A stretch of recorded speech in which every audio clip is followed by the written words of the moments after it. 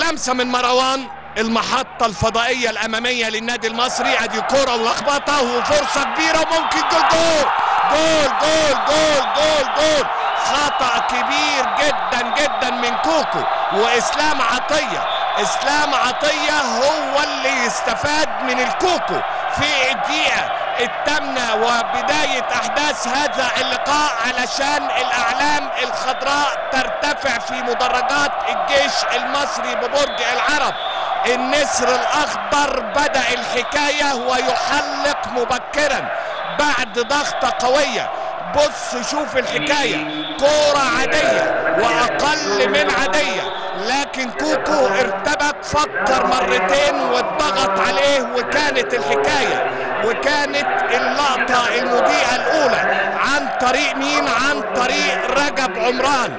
ريجا بيتقدم بأول لجوان عن طريق التدخل والضغط العشرة على عشرة رجب عمران ريجا بيسجل أول لجوان أصدقائي ويتقدم للنادي المصري في درب القنال في تاني لقاءات دور الثمانية بهدف مقابل لا شيء.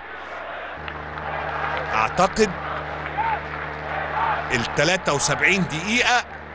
ككورة قليلة جدا جدا. أدي كورة للأمام. عبدو يحيى. عبدو يحيى ممكن تاني الأجوان. تاني الأجوان.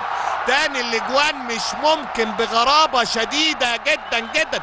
تمريرة ديليفري نجد عبدو يحيى اللاعب البديل في انفراد حقيقي بمحمد كوكو وبالفعل عبدو يحيى يعلي هتافات وجماهير وصيحات جمهور النادي المصري.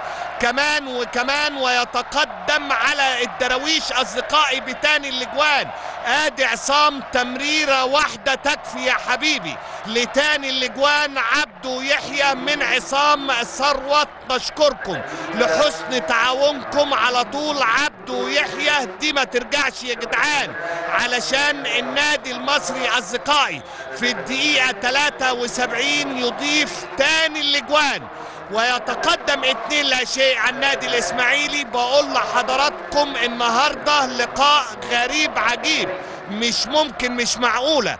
تمريرة واحدة من أول لآخر الملعب. تعمل انفراد ليه ال11 لاعب كانوا فين؟ سؤال غريب ما حدش يقدر يجاوب عليه. لكن بالأحضان بالأحضان طبعا يا عصام بالأحضان.